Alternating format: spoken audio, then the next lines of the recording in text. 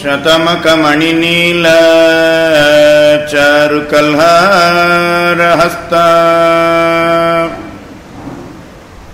स्तनभरनमिताङ्गी सान्द्रवात्सल्यसिन्धुः। अलकविनिहिताभिः शक्भिराकृष्टनाथ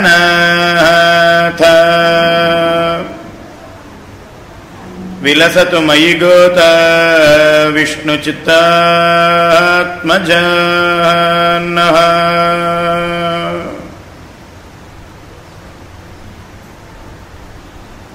वाळ्यतिराशन् वाळ्यतिराशन् वाळ्यतिराशनन वाळ्तुवा வழியன வாழ்த்துவர் வாழியன வாழ்த்துவர். தாழினையில் தாழ்த்துவார் வெண்ணோர் தலை. அபகத மதமானைகே ரந்திமோபாயனிஷ்டை அதிகத பரமார்த்தைகே ரத்த காமான் அனபேட்சை अनपेक्षैः निखिलजनसुहृद्भिः निर्जितक्रोधलोभैः वरवरमुनिभृत्यैरस्तु मे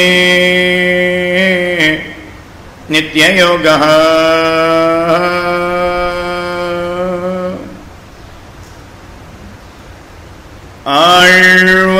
ஆழ்வார்கள் வாழி அருளிச் செயல் வாழி தாழ்வாதுமில் குறவர் தாம் வழி. ஏழ்பாருமைய அவர்கள் உரைத்தவைகள் தாம் வாழி. செய்யமறை தன்னுடனே சேர்ந்து. திருமழிசை என்கிற க்ஷேத்திரத்திலே பகவானுடைய சுதர்சன சக்கரத்தினுடைய அம்சமாக திருமழிசை ஆழ்வார் அவதாரம் பண்ணினார். தையில் மகமென்னு தாரணியீர் ஏற்றம். இந்த தையில் மகத்துக்கு சாற்றுகின்றேன். துய்ய மதிபெற்ற மழிசைப்பிரான் பிறந்த நாளென்னு நற்றவர்கள் கொண்டாடும் நாள். ஆச்சாரிய பக்தி உடைய அத்தனை பேரும் திருமழிசை ஆழ்வார் அவதாரம் பண்ணின தை மாதம் மக நட்சத்திரத்தை அப்படியே கொண்டாடுறாளாம்.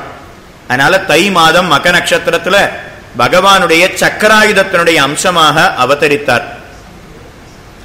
நாம சக்கரத்தாழ்வாரை வழிபடுகிறோம் சுத்தரோம் எனக்கு வியாதி போகணும் வந்திருக்கக்கூடிய பீடைகள் எல்லாம் போகணும்னு பிரார்த்திக்கிறோமே. அந்த சக்கரத்தாழ்வாரே திருமழிசை ஆழ்வாராக அவதாரம் பண்ணினார். அதனால திருமழிசையில இன்னைக்கும் போனோம்னா திருமழிசை ஆழ்வாருடைய திருமேனிக்கு பின்னாடி பெரிய வட்ட வடிவத்தில் சக்கரம் இருக்கும். பொய்கை ஆழ்வார் புதத்தாழ்வாருக்கெல்லாம் இல்லையே. இவருக்கு ஏன் இப்படி பெரிய நாடி ஒரு சக்கரம் இருக்குன்னா சக்கரத்தினுடைய சுதர்சன சக்கரத்தினுடைய அம்சமாக அவர் அவதாரம் பண்ணினார். அதனால சக்கராயுதத்தினுடைய அம்சமாக திருமழிசை ஆழ்வார் அவதாரம் பண்ணினார். கண்ணன் அவன் ராஜாவா பிறந்தான். இடையனாக வளர்ந்தான். அதே போலத்தான் இந்த திருமழிசை ஆழ்வாரும் அந்தனர் குலத்திலே பிறந்தார். ஆனா அந்தனர் அல்லாத ஒரு குலத்திலே தானும் வளர்ந்தார். கண்ணனுக்கு இருக்கக்கூடிய பெருமை திருமழிசை ஆழ்வாருக்கும் உண்டு. அதுக்காக சொல்ல வந்தேன்.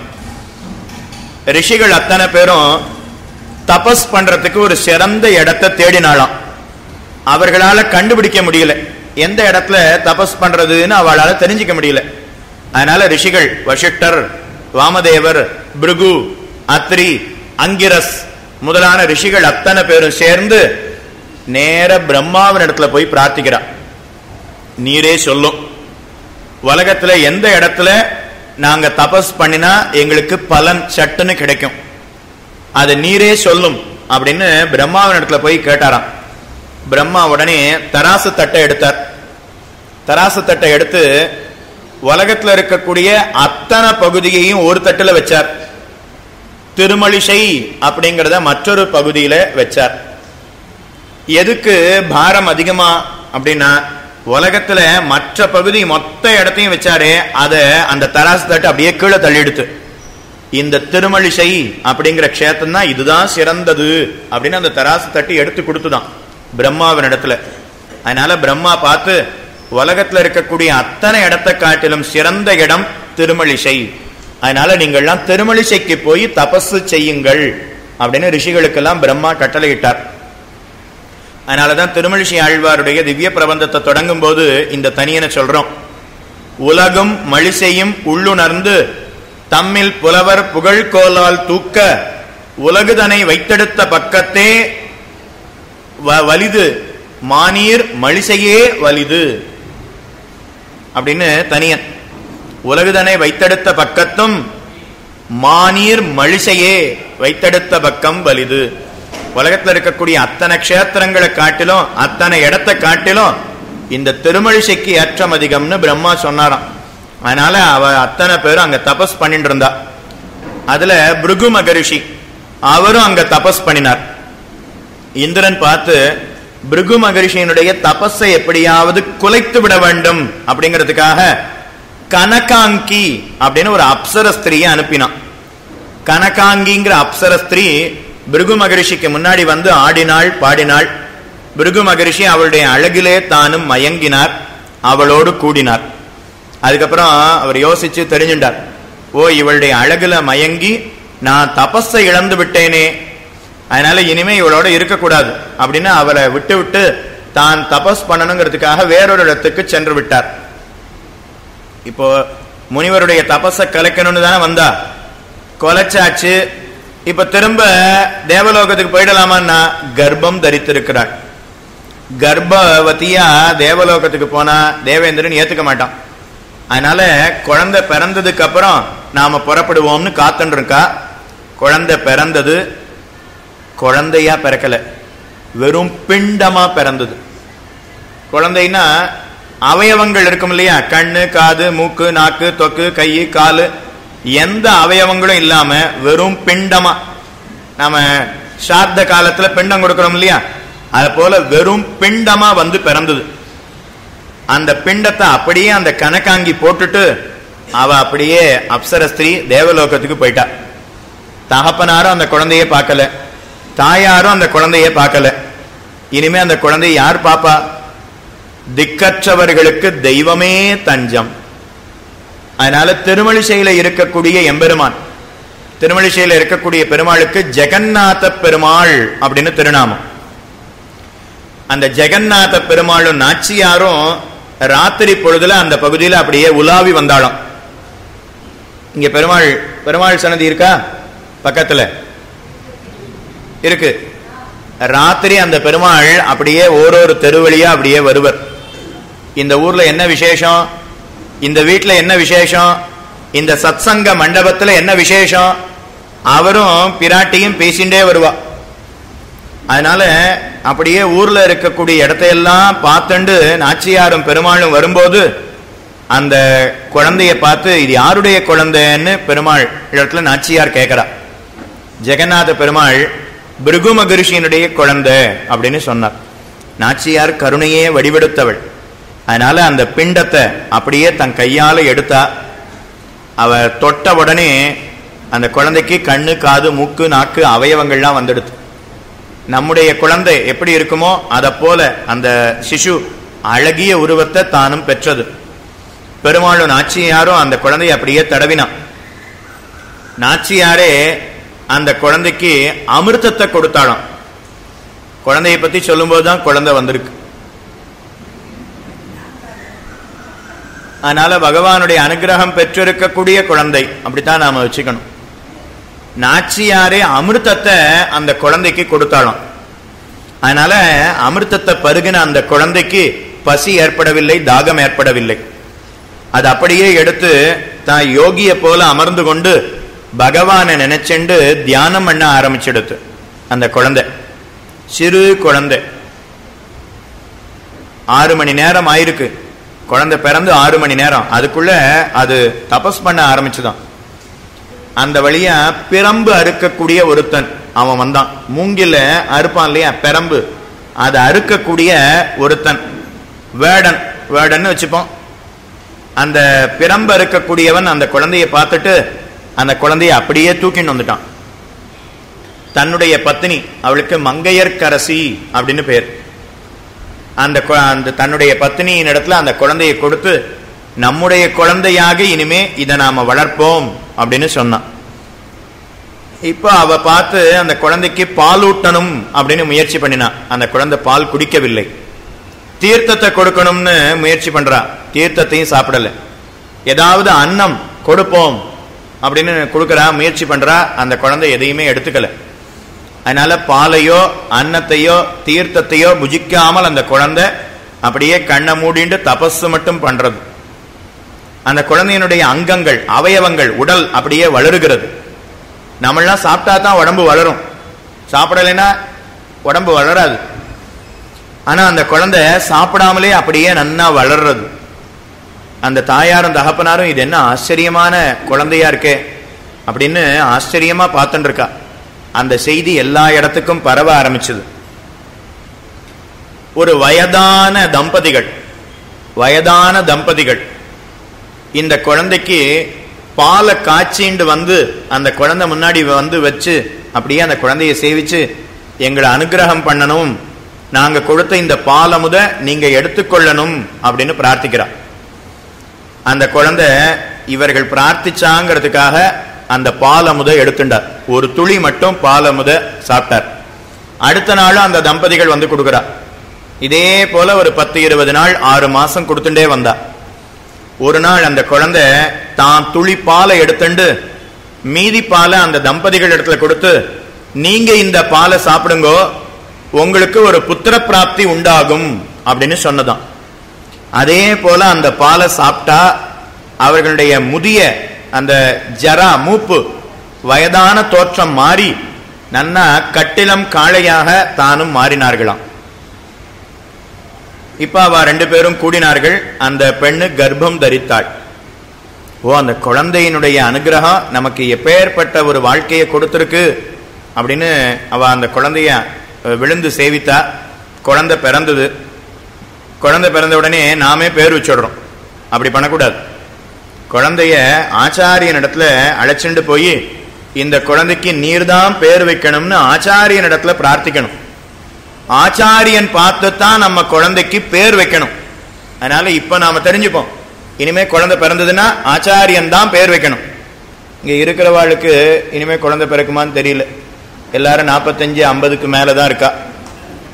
உங்களுடைய பொண்ணுக்கோ பேரனுக்கோ குழந்தை பிறக்கும் இல்லையா? பிள்ளைக்கோ? அந்த குழந்தைக்கு உங்க பெண்ணுக்கும் பேரனுக்கும் மாட்டு பொண்ணுக்கும் மருமகனுக்கும் சொல்லுங்க. நீங்களே பேர் வைக்காதீங்க. ஒரு பெரியவர் ஆச்சாரிய ஸ்தானத்துல இருக்கக்கூடியவர் தான் நம்ம குழந்தைக்கு பேர் வைக்கணும்னு சொல்லணும். அதுக்காகத்தான் சொல்றேன். அடியே நீங்க இருக்கக்கூடிய ஒரு நூறு பேரை தான் பார்க்கறேன்னு சொல்றேன். ஆனா உங்க ஆத்துல நீங்க பல பேரை பார்க்கலாம் இல்லையா? ஒவ்வொருத்தரும் நாலு பேரை பார்க்கலாமே. அப்ப நானூறு பேருக்கு அந்த விஷயம் போய் சேரணும். அதனால குழந்தை பிறந்த உடனே அந்த குழந்தைய நேர இவர் இந்த இவரிடத்துல கொண்டு வந்து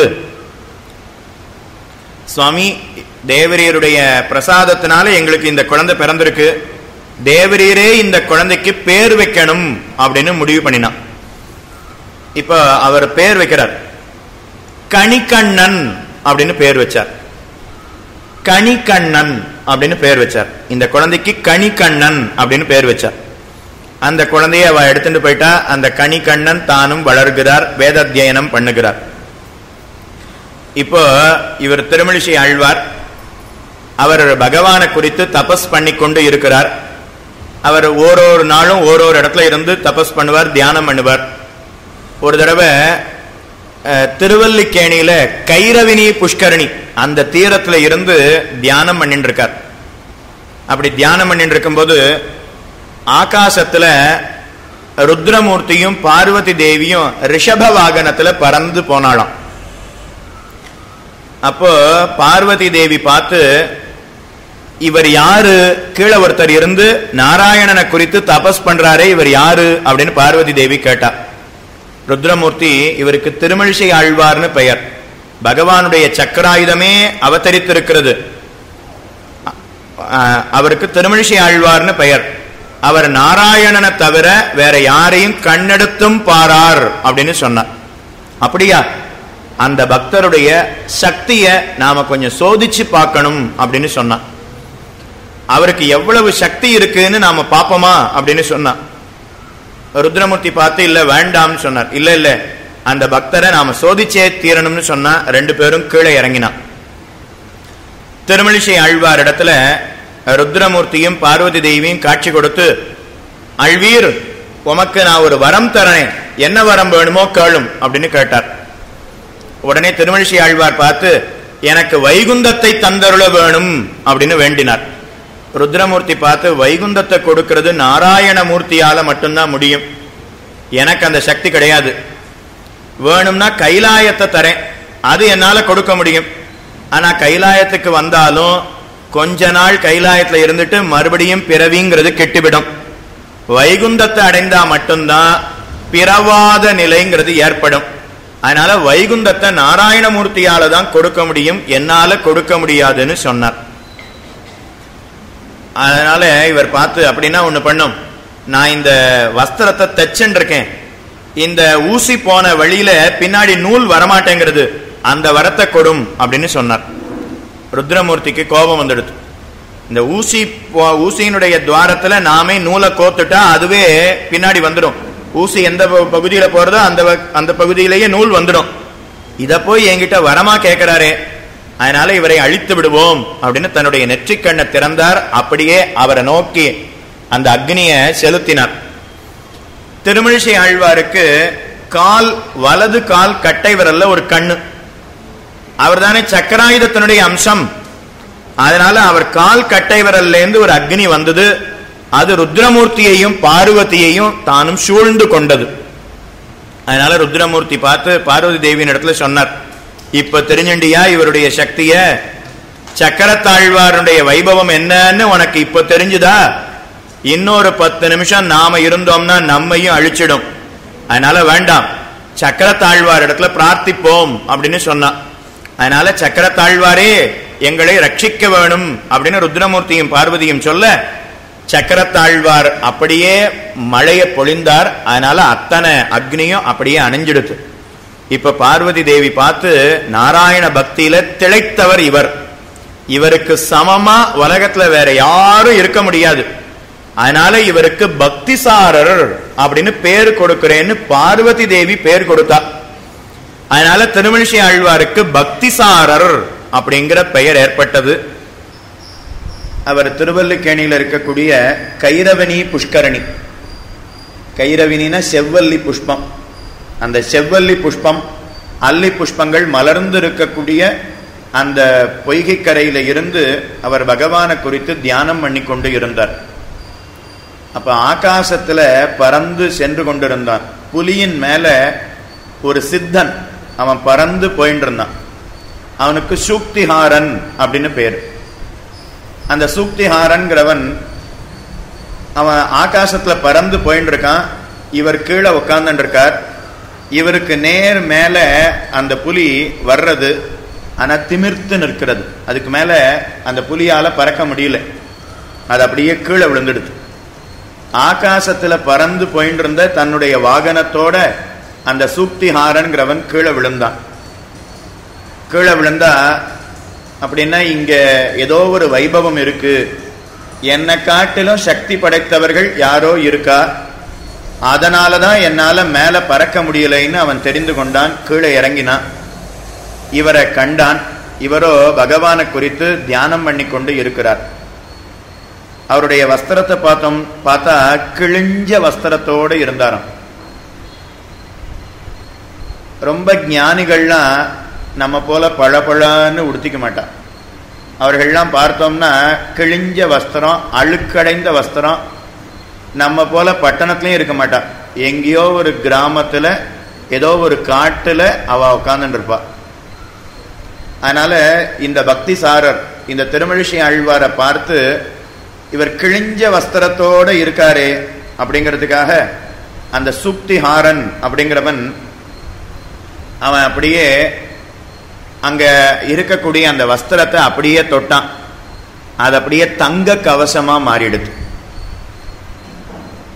அந்த கிழிஞ்ச வஸ்திரத்தை அந்த சூக்திஹாரன் தொட்டான். அது அப்படியே தங்க கவசமா மாறிடுத்து திருமழிசை ஆழ்வார் பக்திசாரர் இடத்துல இந்தாரும் இந்த தங்க கவசத்தை நீர் போட்டுக்கும் அப்படின்னு சொன்னானாம். திருமழிசை ஆழ்வார் பார்த்து நீ எனக்கு தங்க கவசம் கொடுக்குறியா? இதோ அவர் பக்கத்தில் இருந்த ஒரு மரத்தினுடைய இலைய தொட்டார். அது அப்படியே தங்க கவசமா தானும் மாறிற்று. அந்த சுக்திகாரன் பார்த்து ஓ இவர் அனைத்து ச- தானும் அஷ்டாங்க யோகத்தை அறிந்திருக்கக்கூடியவர். உண்மையிலேயே மகான். அப்படின்னு அவன் தெரிஞ்சுன்னா அடுத்து தான் கழுத்துல போட்டுருந்த ஒரு துளசி மாலையை அவன் எடுத்து இந்தாரு இதை போட்டுக்கும் அப்படின்னு கொடுக்குறான். அது அப்படியே அது அப்படியே ஒரு நவரத்ன மாலையா மாறினது. திருமழிசை ஆழ்வார் பார்த்தார். அவர் தன்னுடைய காது காதுல இருக்கக்கூடிய அழுக்கு அதை எடுத்து உருட்டி கீழே போட்டார். அது அப்படியே ஒரு நவரத்ன ஹாரமா மாறினது. அந்த சுக்திஹாரன் பார்த்துட்டு உண்மையிலேயே இவர் சக்திசாலி மகா பிரபாவம் உடையவர் அப்படின்னு அவரை விழுந்து சேவித்து அப்படியே பிரதட்சணம் பண்ணி அந்த ஊரினுடைய எல்லா வரைக்கும் தான் நடந்தே போய் அப்புறம் தன்னுடைய வாகனத்தில் ஏறி பறந்து சென்றானாம். திருமிழ்ச்சி ஆழ்வாருடைய சரித்திரத்தில் காட்டுறான் அவன் போய் இன்னொரு சித்தன் இடத்துல சொன்னான். அவனுக்கு கொங்கண சித்தன் அப்படின்னு பெயர். அந்த கொங்கண சித்தன்கிறவன் திருமிழிசை ஆழ்வாரை பார்க்கணுங்கிறதுக்காக அதே கைரவனி தீரத்துக்கு வந்து சேர்ந்தான் திருவல்லிக்கேணிக்கு வந்து சேர்ந்தான் இவர் தியானத்தில் இருக்கார் தபஸ் பண்ணிட்டு இருக்கார் பக்கத்தில் வந்தான் அதே கிழிஞ்ச வஸ்திரம். அதனால அதை பார்த்த உடனே ஒரு ரச குளிகையை வச்சிருந்தானா. ரச குளிகையை அவரிடத்துல கொடுக்குறான். சுவாமி தேவரீருக்கு பிரபாவம் இருக்குன்னு தெரியறது. நான் இந்த ரச குளிகையை உமக்கு தரேன். அந்த ரசகுளிகை வச்சு எதை தொட்டாலும் அது தங்கமா மாறிடும் பொன்னாக மாறிடும். அப்பப்ப கேள்விப்பட்டிருப்ப இல்லையா? கதையிலெல்லாம். ஏதோ ஒரு கோல் வச்சிருப்பார் அவர் தொட்டா அது அப்படியே தங்கமா மாறிடும்னு படிச்சிருக்கோமே அதுக்கு ரசகுளிகைன்னு பேர். அந்த ரசகுளிகையை கொடுக்குறான். இதை வச்சு நீர் எதை தொட்டாலும் தங்கமா மாறிடும். அதனால இதை நான் உமக்கு பரிசாக தருகிறேன் ஏற்றுக்கொள்ளும் அப்படின்னு கொடுத்தானா திருமணிஷி ஆழ்வார் அவர் தன்னுடைய க- கழுத்துல தாமரை மணிமாலையை அணிந்து கொண்டிருந்தார். அந்த தாமரை மணிமாலையிலிருந்து ஒரே ஒரு ஒரே ஒரு தாமரை மணியை எடுத்து அவர் அப்படியே பக்கத்தில் இருக்கக்கூடிய ஒரு மலையில தூக்கி போட்டார். அந்த தாமரை மணி அந்த மலையில பட்டவுடனே அந்த மலை முழுக்க சொர்ணமா மாறிடுது அந்த மலை முழுக்க சொர்ணமா மாறிடுது அதனால கொங்கண சித்தன் பார்த்து ஓ இவர் மகா பிரபாவம் உடையவர் வைபவசாலி. அப்படின்னா அவனும் விழுந்து சேவித்து அவரை பிரதட்சணம் பண்ணிட்டு சென்றானாம் கொங்கண சித்தன்னு பேர். அதுக்கப்புறம் அவர் திருவல்லிக்கேணியில இருந்து பகவானை குறித்து தியானம் பண்ணி கொண்டு இருந்தார். அவருக்கு திருமண்காப்பு இல்லை. நாம நித்தியப்படி திருமண்காப்பு சாத்திக்கிறோம் இல்லையா? அயோத்தியா ஸ்ரீரங்கம் திருமலை இது முதலான க்ஷேத்திரங்களில் இருக்கக்கூடிய மண். அந்த மண்ணுக்கு தான் திருமண் அப்படின்னு பெயர். திருப்பார்கடல் அப்படின்னு சொல்றோமே பாலே அலை எரியும். அங்கங்க சமுத்திரத்துல கட்டி கட்டியா இருக்கும் இல்லையா? திருப்பார்கடல்லையும் பாலே கட்டியா சேர்ந்துடுமா? பாலே கெட்டியா சேர்ந்துடுத்துன்னா அது ஒரு மலை ஆயிடும் அந்த மலைய கருடன் ஒரு தடவை தன்னுடைய தோளில் வச்சு எழுந்தருளை பண்ணிட்டு போயிட்டு இருந்தார். அது போயிட்டு இருக்கும்போது அந்த மலையில இருந்து மூணு துண்டு மூணு இடத்துல விழுந்தது. திருநாராயணபுரம் அயோத்தி ஸ்ரீரங்கம் இந்த மூணு இடத்துல விழுந்தது. அதனால அந்த மூணு இடத்துல விழுந்த மண்ணுக்கு திருமண் அப்படின்னு பெயர். அந்த மண்ணைத்தான் ஜலத்தோடு சேர்த்து குழைச்சு நாம நெற்றியிலே இட்டுக்கொள்ள வேணும். அதனால அவர் திருமணிசை ஆழ்வாருக்கு திருமண் காப்பு வச்சிருந்தாரே அந்த திருமண் இல்லை. வருத்தத்தோட இருக்கார். திருமண் காப்பு இல்லாம நாம யாரையும் பார்க்கவும் கூடாது. திருமண் காப்பு இல்லாதவாழ நாம பார்க்கவும் கூடாதாம். திருமண்காப்பு இல்லாதவாழ பார்த்தா பார்த்த நமக்கு என்ன பிராயச்சி தெரியுமா? காவேரியில நூத்தி ஒரு தடவை மூழ்கி எழுந்திருக்கணும். அப்படின்னா சென்னப்பட்டணத்துக்கு வந்திருக்கவே கூடாது. காவேரி பட்டணத்தோடையே காவேரியோடையே இருந்திருக்கணும். ஸ்ரீரங்கத்தோடையே தாமிரபரணியோடையே இருந்திருக்கணும். திருமண்காப்பு இல்லாம நெற்றியில திலக்கம் இல்லாம நாம யாரையும் பார்க்கக்கூடாது. நாமும் யாருக்கும் காட்சி கொடுக்கவும் கூடாது. இன்னைக்கும் திருநாராயணபுரத்துல ஒரு உற்சவம். திருநாராயணபுரத்தில் இருக்கக்கூடிய மேலக்கோட்டை செல்வப்பிள்ளை. அந்த செல்வ நாரணனுக்கு பிரம்மோற்சவம் நடக்குமே அதுல ஆறாம் நாள் உற்சவம். அங்க ராமானுஜர் எழுந்தருளி இருந்த சமயத்துல திருமண்காப்பு இல்லையா? அதனால செல்வ பிள்ளை தான் உமக்கு திருமண்காப்பு தருகிறோம்னு சொல்லி கல்யாணி புஷ்கரணி தீரத்துல திருமண்காப்பு கொடுத்தான். அதனால ஆறாம் உற்சவத்தன்னைக்கு ராமானுஜர் சன்னதியிலிருந்து அந்த கல்யாணி புஷ்கரணிக்கு போவர். ஏன்னா திருமண்காப்பு அங்க தரேன்னு சொல்லியிருக்காரு இல்லையா? அதை காட்டக்கூடிய உற்சவம். அதனால தன்னுடைய சன்னதியிலிருந்து புஷ்கரணிக்கு போகும்போது கிட்டத்தட்ட ஒரு கிலோமீட்டர். ஆனால் அஞ்சே நிமிஷத்தில் வேகமாக போயிடுவார். அப்படியே முண்டாசு போட்டுடுவார். அப்படியே கண்ணு மட்டும் அப்படியே தெரிகிற மாதிரி அர்ச்சகா சாத்துப்படி பண்ணியிருப்பா முழுக்க மறைச்சிடுவா நெத்தியை மறைச்சிடுவா. கண்ணு மட்டும் தெரியும். வேகமாக எழுதிடுவார். ஒரு கிலோமீட்டர் அஞ்சே நிமிஷத்தில் போயிடுவார். அங்கே போய் திருமண்காப்பு சாத்திண்டு அதுக்கப்புறம் திரும்பி வருவர். அதே ஒரு கிலோமீட்டர். நாலு மணி நேரம் ஆகும் ஆடி ஆடி அசைஞ்சு வருவர். ஆறு மணிக்கு அங்கிருந்து புறப்பட்டா ராத்திரி ஒன்பதரை ஒன்பதரை ஒன்பதே முக்காலுக்கு சன்னதிக்கு வந்து சேருவர். எதுக்காக ராமானுஜர் இப்படி பண்ணார்னா திருமண்காப்பு இல்லாமல் யாரையும் பார்க்கக்கூடாது. அதுக்காக வேகமா எழுந்தருளி விட்டார். இப்போ அதே போல திருமணி ஆழ்வாருக்கு திருமண்காப்பு இல்லை. ஸ்ரீனிவாச பெருமாள் சொப்பனத்துல காட்சி கொடுத்து நீர் காஞ்சிபுரத்துக்கு வாரும். உமக்கு நாம் திருமண்காப்பு காட்டி தருகிறோம் அப்படின்னு சொன்னானாம். ஸ்ரீனிவாச பெருமாளே காட்சி கொடுத்து நீர் காஞ்சிபுரத்துக்கு வாரும். உமக்கு நாம் திருமண்காப்பு தருகிறோம் அப்படின்னு சொன்னான். அதனால திருமணிஷி ஆழ்வார் அவர் திருவல்லிக்கேணியிலிருந்து அப்படியே காஞ்சிபுரத்துக்கு எழுந்தருளினார். திருவெஹ்வா அப்படிங்கிற க்ஷேத்திரம். சேவிச்சிருக்கீங்களா சேவிக்கலைன்னா இப்போ சரித்திரம் கே சொல்கிறேன் அதை கேட்டுட்டு சட்டுன்னு போய் சேவிச்சிடுங்க. காஞ்சிபுரத்தில் திருவெக்கா அப்படிங்கிற க்ஷேத்திரம். அங்கே திருமணிஷி ஆழ்வார் தானும் எழுந்தருளி இருக்கிறார். அவர் கண்ணை மூடிண்டு தியானம் பண்ணிட்டு இருக்கார். அவர் தியானம் பண்ண ஆரம்பிச்சாருன்னா நாம் அஞ்சு நிமிஷத்தில் தியானம் பண்ணிவிடுவோம் அஞ்சு நிமிஷமே பண்ணுறோன்னு வச்சுப்போம். பண்ண போகிறதில்ல பண்ணினாலும் அஞ்சு பத்து நிமிஷத்தில் நாம் முழிச்சிடுவோம். திருமழிசை ஆழ்வார் தியானம் பண்ண ஆரம்பிச்சாருன்னா எழுநூறு வருஷம் கழிச்சு தான் முழிப்பர். அதனால அவர் கண்ணை மூடிண்டு தியானம் பண்ணிட்டு இருக்கார் எழுநூறு வருஷம் அவர் தியானத்திலேயே இருந்தாராம். அவருடைய ஆசிரமத்தை அப்ப ஒரு வயதான மூதா மூதாட்டி ஒரு விருத்த ஸ்திரீ. அவ அந்த ஆசிரமத்தை பெருக்கி மெழுகி கோலமிட்டு விளக்கேற்றி இதெல்லாம் நன்னா அழகுபடுத்தி எழுநூறு வருஷம் அவர் தியானத்தில் இருக்கும்போது வயதான மூதாட்டி அவ கைங்கரியம் பண்ணினா தொண்டு புரிந்தாள். அவ விழித்து பார்த்தார். பார்த்தா தன்னுடைய ஆசிரமம் ரொம்ப அழகா இருக்கு பரிசுத்தமா இருக்கு.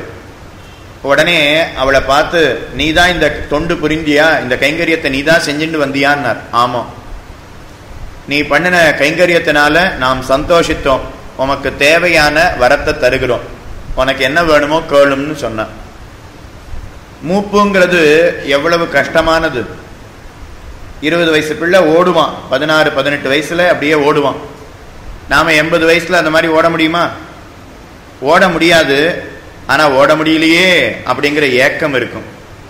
அதனால அந்த மூதாட்டி பார்த்து என்னுடைய உடல் மூப்பு ஜரா இதெல்லாம் வந்துடுத்து என்னுடைய இந்த கிளத்தனத்தை மாற்றி கிளத்தனத்தை அப்படியே மாற்றி கொடுக்க வேணும் அப்படின்னு வேண்டுகிறாள். அவளுக்கு வயசு எண்பத்தி ஒன்று திருமழிசை ஆழ்வார் அனுகிரகம் பண்ணினார். அப்படியே மாற்றி போட்டுக்கோங்க பதினெட்டு. எண்பத்தொன்று அப்படியே மாத்தினா பதினெட்டு. அதனால அந்த பெண்ணு அந்த வயதான மூதாட்டிக்கு அனுகிரகம் பண்ணினார் திருமழிசை ஆழ்வார். அதனால அவ இளமை உருவத்தை அடைந்தாள். அப்சரஸ்திரியினுடைய அழக அந்த பெண்ணு பெற்றாள் அழகா ஒரு பெண் இருக்கான்னாலே அந்த ஊர்ல எல்லாருக்கும் அந்த பெண்ணை தெரிஞ்சிருக்கும். அதனால இவ அப்சர ஸ்திரீயினுடைய அழகு. அதனால காஞ்சிபுரத்தை ஆண்ட பல்லவ ராஜா. அவனே இந்த பெண்ணனுடைய அழக அவன் கேள்வியுற்று இந்த பெண்ணை தானே கல்யாணம் பண்ணிக்கணும்னு வந்தான். அந்த பெண்ணை கல்யாணம் பண்ணி கொண்டான். அந்த ராஜாவுக்கும் அந்த பெண்ணுக்கும் கல்யாணம் ஆயிடுத்து. ஒரு வருஷம் ஆச்சு பத்து வருஷம் ஆச்சு இருபது வருஷம் ஆச்சு ஐம்பது வருஷம் ஆச்சு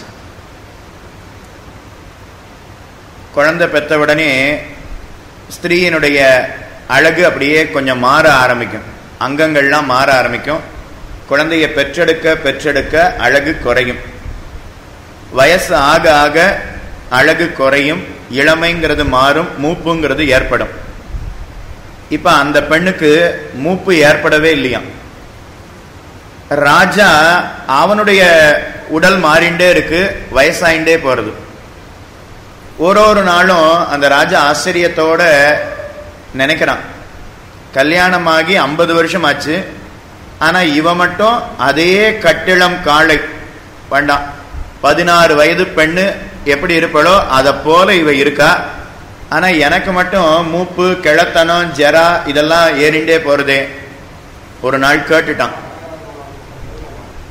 எனக்கு கல்யாணம் ஆகி ஐம்பது வருஷம் ஆகு ஆறுது. எனக்கு இளமை மாறி போச்சு ஆனால் உனக்கு ஐம்பது வருஷம் ஆகியும் இளமை மாறாமல் இருக்கியே அதுக்கு என்ன காரணம்னு கேட்குறான் உடனே அவர் சொன்னான் திருமழிஷி ஆழ்வார் அவர் காஞ்சிபுரத்தில் தபஸ் பண்ணிட்டு இருந்தார் அவருடைய ஆசிரமத்தை பெருக்கி மெழுகி நான் கோலமிட்டு சுத்தப்படுத்தினேன்.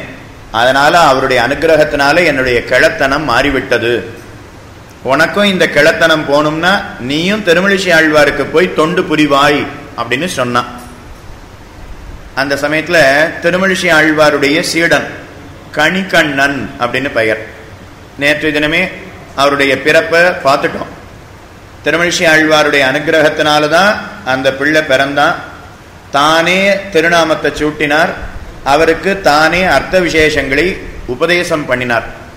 அந்த கணிகண்ணன்கிறவர் அவர் பிக்ஷை எடுத்துண்டு வரார். உஞ்சவிருத்தி பண்ணித்தான் பிரசாதம் எடுத்துக்கணும். அதனால கணிக்கண்ணன் பிக்ஷை எடுத்துண்டு வரார். ராஜா பார்த்து கணிக்கண்ணனை இங்க கூட்டிண்டு வாங்கோன்னு சொன்னார். அதே போல கணிக்கண்ணனை ராஜா பார்க்கணும்னு சொல்றாருன்னு அழைச்சிட்டு போனான். ராஜா பார்த்து உம் ஆச்சாரியனான திருமழிசை ஆழ்வார நாம் பார்க்கணும். அதனால நீர் இங்க கூட்டிண்டு வாரும் அப்படின்னு சொன்னார். கணிக்கண்ணர் பார்த்து எங்க ஆச்சாரியன் எங்கேயுமே வரமாட்டார். அவர் கோவிலுக்கு வருவார் சேவா காலத்துக்கு வருவர் வேத பாராயணத்துக்கு வருவர் காலக்ஷேபத்துக்கு வருவர் அவ்வளவே. உம்முடைய ராஜாவனுடைய இருப்பிடத்துக்கெல்லாம் அவர் வரமாட்டார். வேணும்னா நீ அந்த ராஜா ராஜாவான நீ அவரை வந்து சேவித்துக்கலாம். நீ இருக்கக்கூடிய இடத்துக்கு அவர் ஒரு காலம் வரப்போவது கிடையாது சொன்னார்.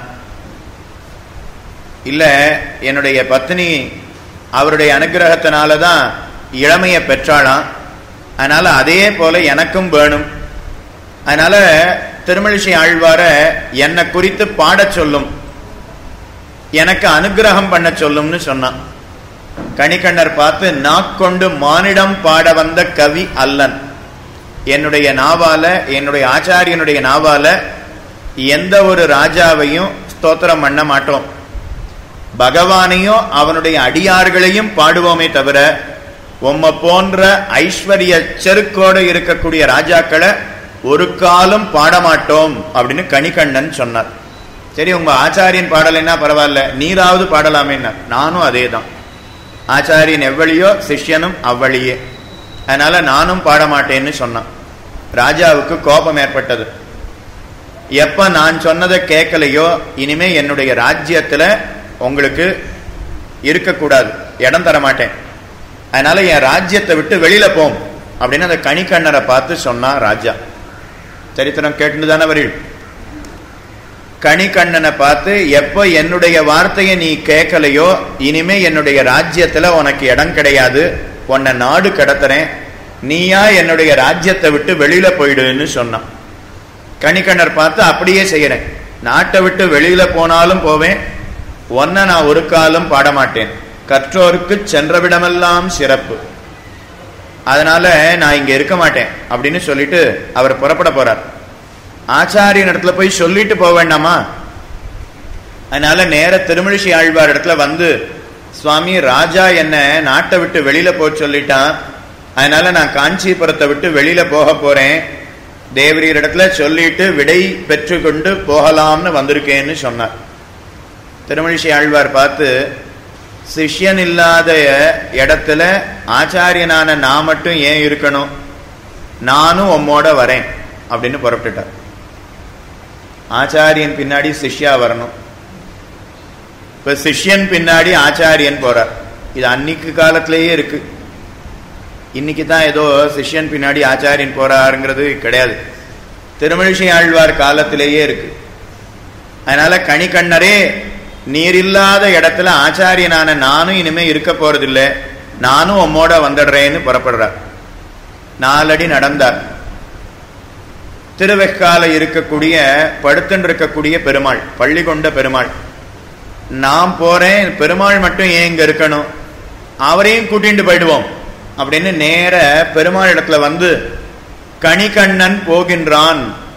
காமரு பூங்கச்சி மணிவண்ணா நீ கிடக்க வேண்டா. துணிவுடைய சென்னா புலவனும் போகின்றேன். நீயமுந்தன் பாய் சுருட்டிக்கொள் அப்படின்னு பிரார்த்திக்கிறார். கணிகண்ணன் போகின்றான்.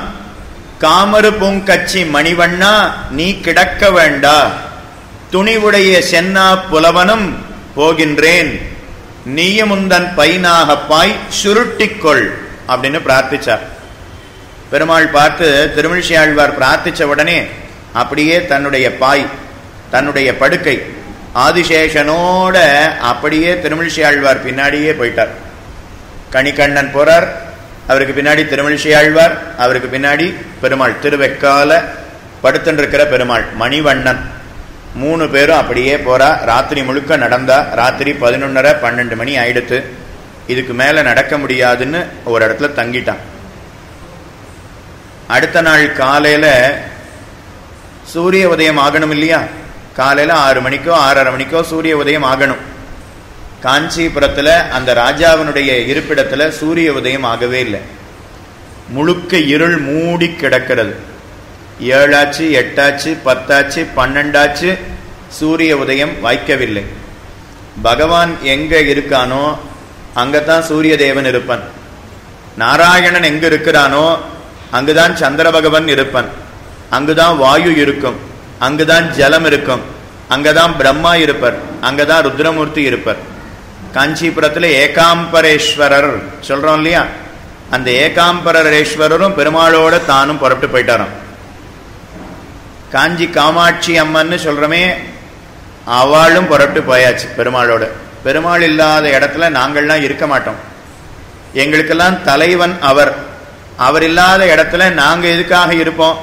நாங்களும் இருக்க மாட்டோம்னு அவளும் புறப்பட்டு பெருமாளோட வந்துட்டா. தாமரை புஷ்பங்கள்லாம் காலையில மலரணும். எதுவுமே மலரல. காற்று வீசணும். வாசனை அங்கே எதுவுமே இல்லை. இருள் மூடி இருக்கிறது. அந்த தேசத்துல இருக்கக்கூடிய அந்தணர்கள் அத்தனை பேரும் பெருமாளோட திருமழிசி ஆழ்வாரோட சென்று விட்டார்கள். அதனால நாடு சோபை இழந்தார் போல கிடக்கிறது. அயோத்தியில ராமன் இல்லாத காலம் எப்படி இருந்திருக்கும்? ராமன் இல்லாத அயோத்தி அப்படிங்கிறது எப்படி அழகழிந்து இருக்குமோ அதை போல பகவான் இல்லாத காஞ்சிபுரம். அதனால ராஜா பார்த்து மந்திரிகளை அழைத்தான் சேனாபதிகளை அழைத்தான் பல பேரை அழைத்து என்ன காரணம்னு தெரியலையே சூரிய உதயம் ஆகலை தாமரை புஷ்பங்கள் மலரல காற்று வீசவில்லை எந்த குளத்துல ஜலத்தை பார்த்தாலும் வற்றி போயிடுத்து எல்லா மரங்களும் புஷ்பங்களை பூக்காம அது இலைகளை உதிர்த்து விட்டது. ஏன் இப்படி என்னுடைய ராஜ்யம் இருக்குன்னு தெரியலையே. பல பேரிடத்துல கேட்கறான் கடைசியில் அத்தனை பேரும் சேர்ந்து நீ ஏதோ பகவானுடைய அடியவரிடத்துல அபச்சாரப்பட்டிருக்கிறாய். ஒரு அடியவருக்கு குற்றம் இழைத்திருக்கிறாய் அதனாலதான் இந்த நாடு இப்படி இருக்கு. முதல்ல அந்த அபராதத்தை போக்கிக் கொள்ளுவாய் அப்படின்னு சொன்னான். அவன் யோசிச்சு பார்த்தான். யார் இடத்துல அபச்சாரப்பட்டோம்? ஓ கணிக்கண்ணர்னு ஒருத்தரை நாம ஊரை விட்டு வெளியில அனுப்பிச்சிட்டோமே.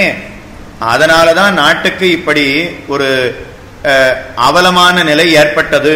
தானும் ராஜா புரிந்து கொண்டான்.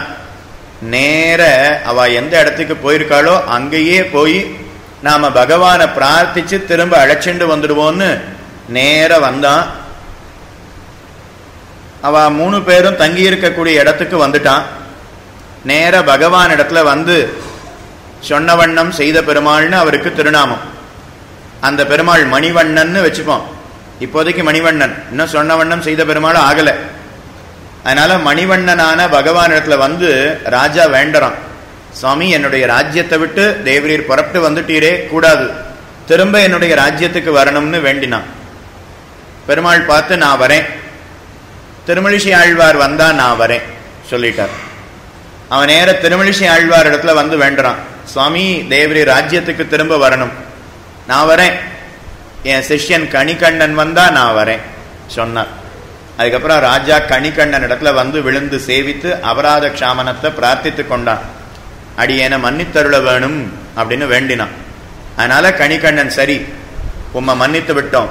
திரும்ப உன்னுடைய ராஜ்யத்துக்கு திரும்பி வருகிறோம் அப்படின்னு ஒத்துக்கொண்டான். அதனால திருமிழிசை ஆழ்வாரும் ஒத்துண்டா? இவா ரெண்டு பேரும் புறப்படுறா. நாலடி நடந்தா அப்புறம் தான் தெரிஞ்சது ஓ பெருமாள் அங்கேயே விட்டுட்டு வந்துட்டோமே. பெருமாளை திரும்ப கூப்பிட வேண்டாமா? அதனால மறுபடியும் திருமிழிசை ஆழ்வார் வந்து அங்க படுத்துட்டு இருக்கக்கூடிய மணிவண்ணனான பெருமாளிடத்துல பிரார்த்திக்கிறார். கணிகண்ணன் பொக்கொழிந்தான். பொக்கொழிந்தான்னா கோபத்தை விட்டு விட்டான் கணிகண்ணன் பொக்கொழிந்தான். காமரு பூங்கச்சி மணிவண்ணா நீ கிடக்க வேணும். துணிவுடைய சென்னா புலவனும் பொக்கொழிந்தேன். நீயமுந்தன் பைனாகப்பாய் விரித்துக்கொள் அப்படின்னு பிரார்த்திச்சார். முதல்ல என்ன பிரார்த்தனை? நீயமுந்தன் பைனாகப்பாய் சுருட்டிக்கொள் அப்படின்னு சொன்னார். இங்க கணிகண்ணன் பொக்கொழிந்தான். காமரு பூங்கச்சி மணிவண்ணா நீ கிடக்க வேணும். துணிவுடைய சென்னா புலவனும் பொக்கொழிந்தேன். நீயமுந்தன் பைனாகப்பாய் விருட்டிக்கொள் அப்படின்னு தானும் பிரார்த்திச்சார். அதனால மறுபடியும் பெருமாள் வந்து திருவெக்கால அப்படியே படுத்துண்டாராம். ஆனா முன்பு திருமிழிசை ஆழ்வார் பிரார்த்திக்கிறதுக்கு முன்னாடி அவர் கிழக்கு நோக்கி படுத்திருந்தார். இப்ப திருமிழிசை ஆழ்வார் பிரார்த்திச்சதுக்கு அப்புறம் அவரோட ஒரு இடத்துக்கு ஒரு நாள் ராத்திரி ஒரு இடத்துல தங்கிட்டு திரும்ப வந்துட்டான் இல்லையா? அதனால இப்ப மேற்கு நோக்கி தானும் சயனித்துக் கொண்டு கிடக்கிறார்.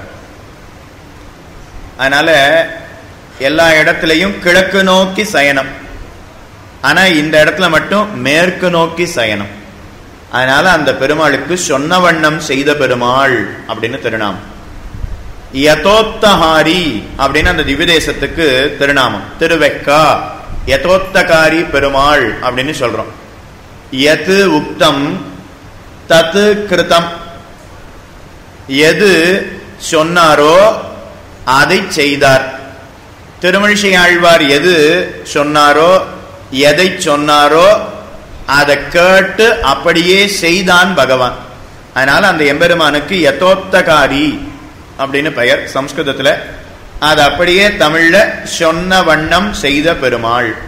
திருமழிசை ஆழ்வார் சொன்ன வண்ணம் செய்த பெருமாள் அவர்.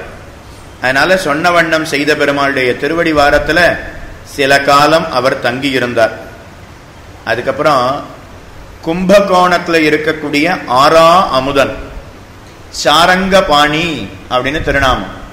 அந்த சாரங்க பாணியான எம்பெருமான் இந்த திருமலிசை ஆழ்வாருடைய சொப்பனத்தில் காட்சி கொடுத்து நாம் இருக்கக்கூடிய இடத்துக்கு வாரும் அப்படின்னு அவரை அழைச்சானான் அதனால திருமலிசை ஆழ்வார் காஞ்சிபுரத்தில் இருந்து அங்கிருந்து கும்பகோணத்துக்கு தானும் புறப்படுறார்.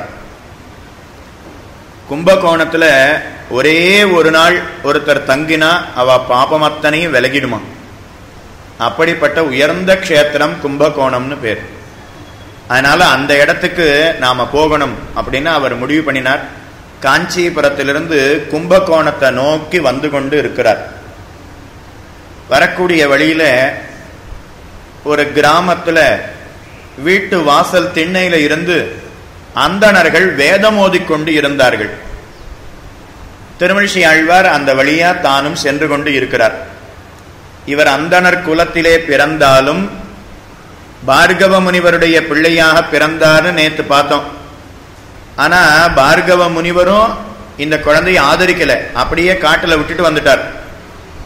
அந்த பெண்ணும் அப்சர ஸ்திரீ குழந்தையை அப்படியே போட்டுட்டு அவ தேவலோகத்துக்கு சென்று விட்டார் பிரம்பு அறுக்கக்கூடியவன் தான் இவரை எடுத்து வளர்த்தான். அதனால அந்தணர் குலத்திலே பிறந்தாலும் அவர் அந்தணர் குலத்திலே பிறந்தவர்னு யாருக்கும் தெரியாது. அந்தணர் அல்லாதவருடைய குலத்திலே வளருகிறபடியினாலே அவரை எல்லாரும் அந்தணர் அல்லாதவர் அப்படின்னு தான் நினைச்சுட்டு இருக்கா இப்ப திருமணிஷி ஆழ்வார் பக்திசாரர் அந்த வழியா போறார். ஒரு கிராமத்துல இருந்து அந்தணர்கள் வேதம் ஓதிக்கொண்டு இருக்கிறார்கள். வேதம் அந்தணர்களுடைய திரைவர்ணிகர்களுடைய காதில் தான் படணும். அதை தவிர மற்றவர்களுடைய காதில் வேதம் படவுதுங்கிறது கூடாது. வேதத்தை அவ கேட்கவும் கூடாதான். அப்படி கேட்டான்னா அதுக்கு என்ன தண்டனை கொடுக்கணும்? சாஸ்திரம் சொல்றது. ஈயத்தை காய்ச்சி அவ காதில் விடணுமா? ஈயச்ச கா காய்ச்சி காதில் விட்டா என்ன ஆகும்? காது செவிடா போயிடும். காது கேட்காது. காது காது. தெலுங்குல காதுன்னா இல்லைன்னு காது காது. அதனால திருமழிசை ஆழ்வார் அந்த வழியா வந்துட்டு வேதம் சொல்லிண்டு இருந்தவா திருமழிசை ஆழ்வார் போறது வரைக்கும் நாம வேதம் சொல்லக்கூடாதுன்னு நிறுத்திட்டான். திருமழிசை ஆழ்வார் அந்த இடத்தை தாண்டி அவர் தூரத்துக்கு போட்டோம் அப்புறம் நாம ஆரம்பிச்சுக்கலாம் அப்படின்னு அவ நிறுத்திட்டான். திருமழிசை ஆழ்வாருடைய பிரபாவம் அவளுக்கு தெரியாது. அதனால அவர் காதுல வேதம் படக்கூடாதுங்கிறதுக்காக நிறுத்திட்டார் திருமழிசை ஆழ்வார் அந்த இடத்தை தாண்டி அவர் சென்று விட்டார். இப்போ அந்தணர்களுக்கெல்லாம் வேதம் விட்ட இடத்துல ஞாபகம் வந்து தொடங்கணும் இல்லையா? அவ தொடங்கணும்னு முயற்சி பண்றா. அவளால தொடங்க முடியல. விட்ட இடம் மறந்து போச்சு. மத்த ஸ்மிருதி ஜானம் அபோகனஞ்ச வேதைஷ்ட சர்வைகி அகமேவ வேத்யா வேதாந்த கிருத்து வேத விதேக சாகம் கண்ணனம் பெருமான் கீதையில தெரிவிக்கிறார். மத்த ஸ்மிருதி ஜானம் அப்போகனஞ்ச. ஒருத்தருக்கு ஞாபகம் வர்றதுனாலும் மறந்து போறதுனாலும் பகவான் தான் காரணம். அதனால பகவான் உள்ள இருந்து அவர்களுக்கு மறக்கடிக்க செய்து விட்டான். அவளால் வேதத்தை தொடங்க முடியல. எந்த இடத்துல தொடங்கணுமோ அந்த இடத்துல அவர்களால் தொடங்க முடியல. திருமழிசை ஆழ்வார் அதை புரிந்து கொண்டார். அதனால இவர்களுக்கு எடுத்து கொடுக்கணுமே. அவரோ வேதத்தை சொல்லக்கூடிய குலத்திலே பிறக்கவில்லை வளரவில்லை. அதனால நாமோ வேதத்தை நேரே சொல்ல முடியாது எடுத்து கொடுக்க முடியாது. இருந்தாலும் அவர்களுக்கு குறிப்பால உணர்த்துவோம் அப்படின்னு முடிவு பண்ணினார். குறிப்பால உணர்த்தினார். நெல்லை எடுத்தார். ஒரு கருத்த நெல்லை எடுத்து அதை அப்படியே கிழிச்சு அவள் இடத்துல காட்டினார். நெல்லனுடைய நுனி இருக்கு இல்லையா? அதை அப்படியே கிழிச்சு காட்டினாராம். உடனே அவளுக்கு விட்ட இடம் ஞாபகம் வந்துடுது. கிருஷ்ணானாம் விரீஹீனாம் நகநிர்பின்னம் நகநிர்பின்னம் அப்படின்னு தொடங்கினான். உடனே ஓ என்ன அர்த்தம்னா கிருஷ்ணானாம் கிருஷ்ணா அப்படின்னா கருப்புன்னு அர்த்தம். கிருஷ்ணான்னா திரௌபதிக்கு பேர். கருத்த வர்ணத்தோடு இருப்பலாம். கருப்பு அழகி திரௌபதி. அதனால் அவளுக்கு கிருஷ்ணா அப்படின்னு ஒரு பேர். அதனால் கிருஷ்ணானாம் விரீஹீனாம் விரீஹி அப்படின்னா நெல் கிருஷ்ணானாம் விரீஹீனாம் நகநிர்பின்னம் நகநிர்பின்னம் அப்படின்னா நகத்தினால அதை கிழிக்கணும் அப்படின்னு சொல்றது. கருத்து இருக்கக்கூடிய நெல்லினுடைய நுனிய நகத்தால கிழிக்க வேண்டும்னு வேதம் சொல்றது. எதை பத்தி சொல்லிட்டு வர்றதுன்னா இந்த உடலுக்குள்ள இருக்கக்கூடிய ஆத்மா. அந்த ஆத்மா எப்படிப்பட்டது? அப்படின்னா ஆத்மாவை கண்ணால பார்க்க முடியுமான்னா பார்க்க முடியாது. அது மிகவும் சிறியது. அது நுண்ணியது. அது எவ்வளவு நுண்ணியது அப்படின்னு வேதம் சொல்றது. வாலாகிர சதபாகசிய சததா கல்பயத்து ஸ்மிருதா வாலாகிரம் அப்படின்னா நெல்லுனுடைய நுனி. உள்ள இருக்கக்கூடிய ஆத்மா அடியன் உள்ள இருக்கக்கூடிய ஆத்மாவும் சரி உங்களுக்கு உள்ள இருக்கக்கூடிய ஆத்மாவும் சரி அதெல்லாம் எவ்வளவு நுண்ணியதா இருக்கும் சிறியதாக இருக்கும்னா நெல்லனுடைய நுனி இருக்கு இல்லையா? அந்த நெல்லனுடைய நுனியை எடுத்துக்கணுமா? நெல்லனுடைய நுனிய நெல்லை எடுத்து அதனுடைய மேல் பாகம் நடுபாகம் அடிபாகத்தை அடிப்பாகத்தை விட்டுட்டு கீழே இருக்கக்கூடிய நுனி அந்த நுனியை எடுத்து கையில வச்சுக்கோங்க. வச்சுண்டு அதை நூறு துண்டா வெட்டணுமா? முடியுமா? முடியாது. ஆனா சாஸ்திரம் சொல்றது நெல்லனுடைய நுனியை எடுத்து அதை நூறு பங்கு வச்சு அதுல ஒரு பங்கு எடுக்கணும். அந்த ஒரு பங்க மறுபடியும் நூறு பகுதியா வெட்டணுமா? வெட்டினா அதுல ஒரு பகுதி எவ்வளவு நுண்ணியதோ அவ்வளவு நுண்ணியது ஆத்மா. அப்படின்னாவது சொல்லணுமா இல்லையா? அப்படி சொல்லலை.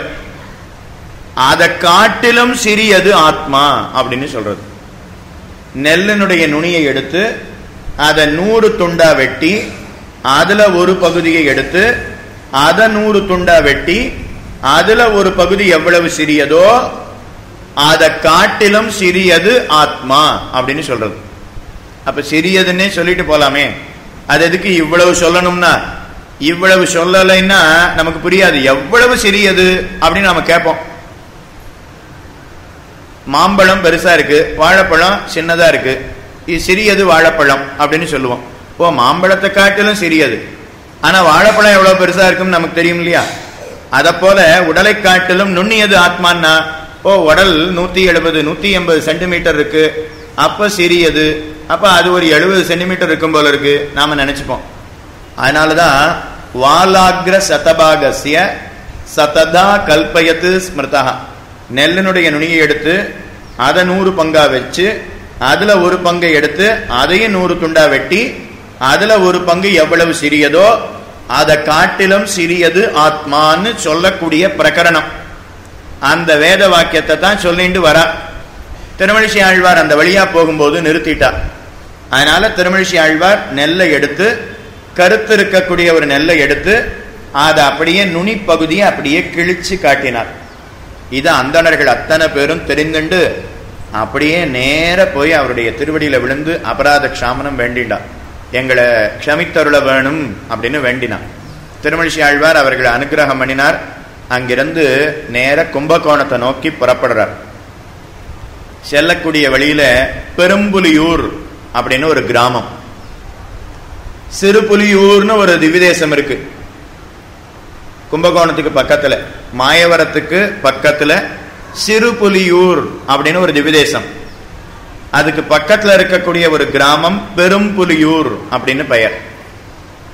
அந்த பெரும்புலியூர்ல திருமழிசை ஆழ்வார் தானும் நடந்து செல்லுகிறார்.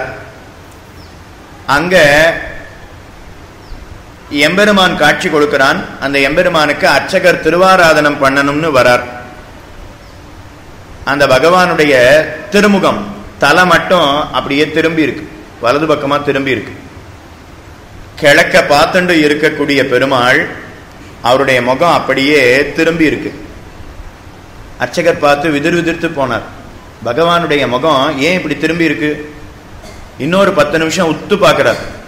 அது அப்படியே வடக்கு பக்கம் திரும்பினது அது அப்படியே மேற்கு பக்கம் திரும்புறது. இன்னொரு பத்து நிமிஷம் கழிச்சு பார்த்தா அப்படியே தெற்கு பக்கம். பகவானுடைய முகம் அப்படியே சுத்தின்ண்டே இருக்கு. இது அர்ச்சகர் பார்த்தார் பரிச்சாரகரை கூட்டு பகவானுடைய முகத்தை பாரும். தலை மட்டும் அப்படியே திரும்புறது. ரொட்டேட் ஆறுது ninety degree one eighty degree. அப்படியே த்ரீ சிக்ஸ்டி டிகிரிக்கு முன்னூத்தறுபது கோணத்துக்கு அது அப்படியே சுத்துறது. அர்ச்சகர் பார்த்து விதிர் விதிர்த்து போனார். நேர அந்த ஊருக்கு தலைவர் பெரும்புலியூர் அடிகள் அப்படின்னு ஒருத்தர். அவரிடத்துல போய் சொன்னார். அந்த பெரும்புலியூர் அடிகள்ங்கிறவர் அந்த ஊர்ல ஒரு யாகம் பண்ணிட்டு வரார். சத்திர யாகம்னு பேர். அந்த யாகம் பண்ணிட்டு வரார். அன்னைக்கு யாகத்தை முடிக்க போறார். அன்னைக்கு பூர்ணாகுதி பண்ண போறார். பதினோரு நாள் யாகம் இருபத்தோரு நாள் யாகம் அப்பப்போ கும்பகோணத்துல யாகம்லாம் நடக்கும் இல்லையா? சோம யாகம் பசு யாகம் நடக்குமே. அதை போல சத்திர யாகம் அப்படிங்கிற யாகத்தை பண்ணினார். அன்னைக்கு பூர்ணாகுதி பண்ணி முடிக்க போறார். பதினொன்னரை மணிக்கு பூர்ணாகுதி ஆகணும். காலையில ஏழரை மணிக்கு பெருமாளுக்கு திருவாராதனம் பண்ணும்போது தூப தீபங்கள் காட்டும்போது பகவானுடைய முகம் அப்படியே சுத்துறது. அதை பார்த்து நேர பெரும்புலியூர் அடிகள் இடத்துல வந்து சொல்லிட்டார். பெரும்புலியூர் அடிகளும் அவரும் வந்து பார்க்கிறார். பெருமாளுடைய முகம் அப்படியே சுத்துறது. அவர் பார்த்து யோசிச்சார் என்ன காரணமா இருக்கும்? இந்த ஊர்ல ஏதாவது விசேஷமா? வெளியூர்காரா யாராவது வந்திருக்காளா? அப்படின்னு கேட்கிறார் ஆமா. பக்திசாரர் அப்படின்னு ஒருத்தர் இந்த ஊருக்கு வந்திருக்கார். அவர் பெருமாளை மதிலுக்கு வெளியில இருந்து மாட வீதியில அப்படியே பிரதட்சணம் பண்றார் அப்படின்னு சொன்னார். அவர் எந்த வழியா பிரதட்சணம் பண்றாரோ அந்த பக்கத்தை அப்படியே பகவான் பார்த்துட்டே இருக்கான். அவர் வடக்கு மாட வீதியில் இருக்கும்போது பகவான் வடக்க பார்க்கறான். அவர் கிழக்கு மாட வீதிக்கு வந்துட்டா பகவான் கிழக்க பார்க்கறான். அவர் தெற்கு மாட வீதி சன்னதி தெருக்கு வரும்போது பகவானுடைய முகம் அப்படியே சுத்துறது.